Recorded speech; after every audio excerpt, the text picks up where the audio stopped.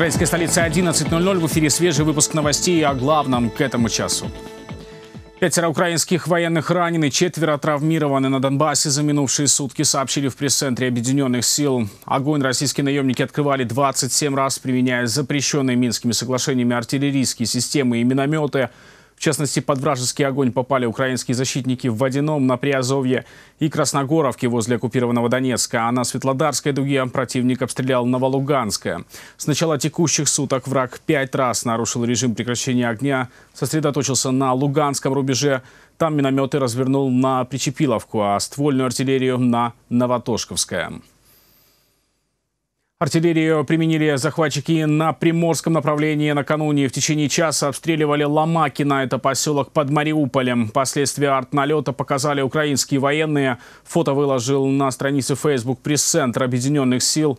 Огонь боевики вели из соседней оккупированной Саханки. Снарядами зацепило крышу промышленного предприятия, а на территории зафиксировали 10 воронок от разрыва вражеских боеприпасов.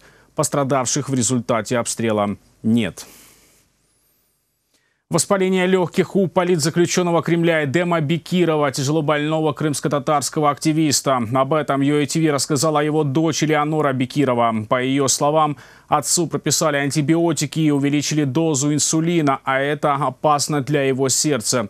Увидеться с отцом родные не могут. Въезд в аннексированный Крым оккупационная власть им запретила. Общаются через адвоката. 211 день, как он находится в СИЗО. А, то есть он дышит воздухом только когда его вывозят на суд, а, а это бывает крайне редко, то есть на прогулку его не выводят. Мы не можем добиться, чтобы его все-таки вывезли в больницу, хотя бы прокапаться, а, хотя бы показать врачу. А то, что они вывозят, это для галочки. 57-летний Дембекиров инвалид первой группы. У него ампутирована нога, сахарный диабет и больное сердце. Крымского татарина российская ФСБ задержала на въезде на аннексированный полуостров 12 декабря прошлого года. Против него сфабриковали дело о хранении боеприпасов. Его незаконно удерживают в Симферопольском СИЗО аннексированного Крыма. Финансирование терроризма, убийство гражданского населения, манипуляции и пропаганда – это современный курс Кремля, заявил постоянный представитель Украины при ООН Владимир Ельченко. Он выступил на открытых дебатах Совета безопасности Организации Объединенных Наций. Дипломат призвал страны мира противостоять российской агрессии и привлекать виновных к ответственности. По его словам, распространение терроризма в мире делают возможным множество факторов, в частности, недостаточно достаточный контроль границ, недоведение до конца расследований и нелегальный оборот оружия, вывезенного из зон конфликтов.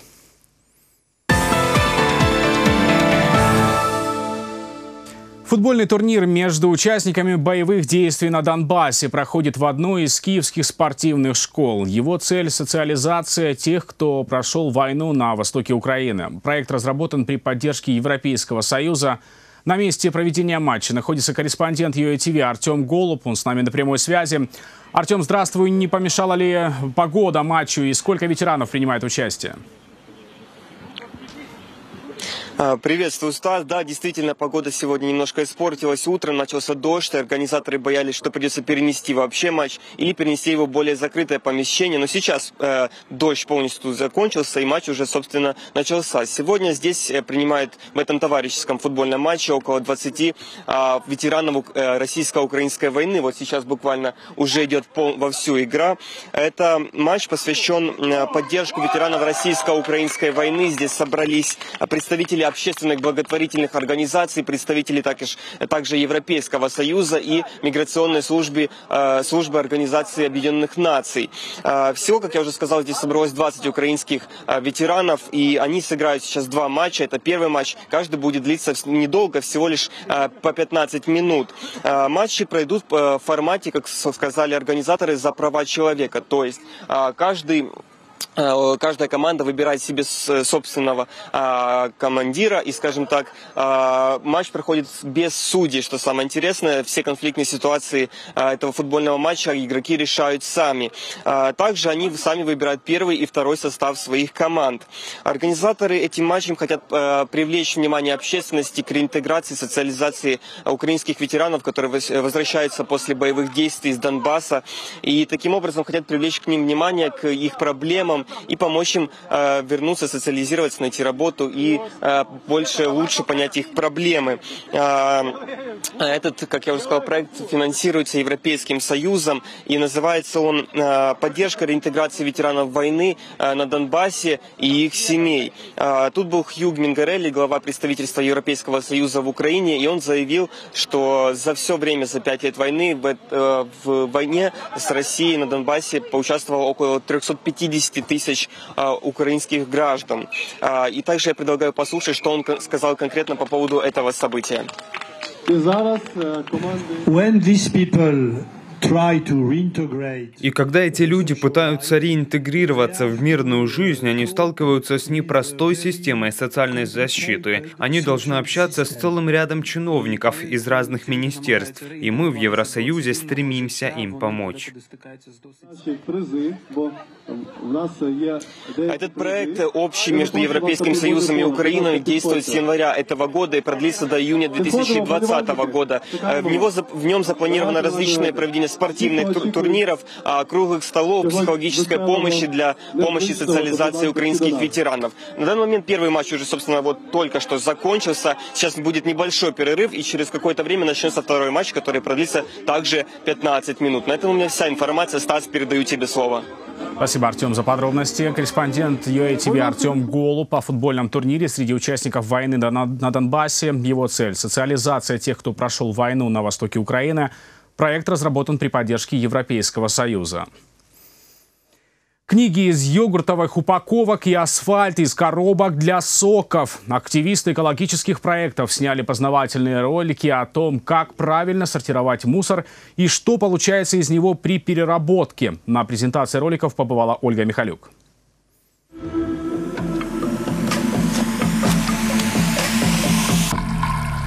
А ты сортуешь? 14-летние София Кристина Борисюк и Никита Шульга стали героями роликов экологического проекта «Украина без сміття». Школьники рассказывают, как сортировать мусор.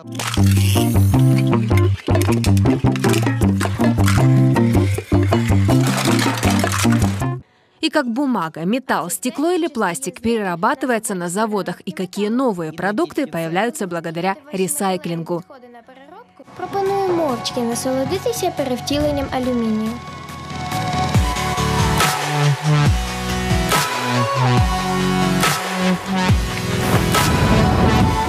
Три года назад юные активисты запустили экологическую инициативу «Компола». Идея компостировать пищевые отходы, получая удобрения. Начали со своей школы. Катализатором стало то, что у меня рядом с домом очень много лет был э, пустырь незаконный после стройки, э, и как бы это не очень приятный вид из окна, поэтому мы подумали с родителями, как бы мы могли бы, в принципе, исправить эту ситуацию. Э, один из вариантов мы придумали это компостирование. При его э, производстве вы, наоборот, уменьшаете количество мусора и удобряете, там, не знаю, дерево, чтобы оно ощущало воздух вокруг себя. Одно ведро – это где-то 20 литров, в среднем школа за день выбрасывает, то есть за неделю, ну, учебный именно, у вас вас получится 100 литров. То есть, в принципе, это хороший результат, и потом вы это не выбросите на свалку, что будет уже лучше для экологии. Проект сразу оценили в Министерстве экологии и образования. И за три года к переработке пищевых отходов присоединились более 200 школ. Только с начала года удалось собрать почти 53 тонны отходов. На выходе компоста получается в два раза меньше. Зато таким объемом можно удобрить стандартное футбольное поле. Ребята еще и классно рекламируют э, Украину на международной арене.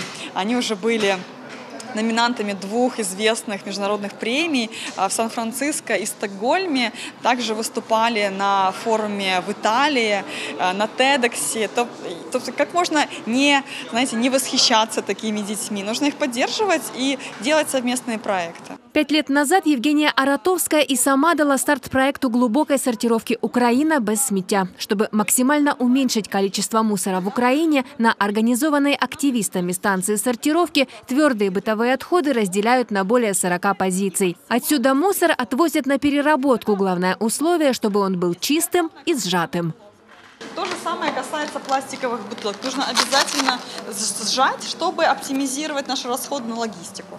А, металл, стекло, комбинированная упаковка, бумага, плотные пластики, пластиковая бутылка, все перерабатывается. Издательство «Ранок» в Харькове делает из этой упаковки книжки, потому что в ней содержится 75% а, макулатуры, бумаги, и вот в этом году впервые сделали такую прекрасную книжечку, которая, ну, знаете, особенная. Из остатка, это полиалюминий, можно делать пластиковые люки. И они тоже производятся. Кроме того, уже добавили в строительство дороги 5 тонн вот этих отходов. По данным активистов, в Украине насчитывают до 40 тысяч мусорных свалок, при том, что сотни украинских перерабатывающих заводов вторсырьем обеспечены только наполовину. Ольга Михалюк, Андрей Толяренко, UATV. К этому часу пока что все. Это и другая актуальная информация есть на наших страницах в соцсетях, а также на сайте телеканала uatv.ua. Следующий выпуск на русском языке менее чем через два часа. Оставайтесь с нами, будьте в курсе и знайте больше. До встречи.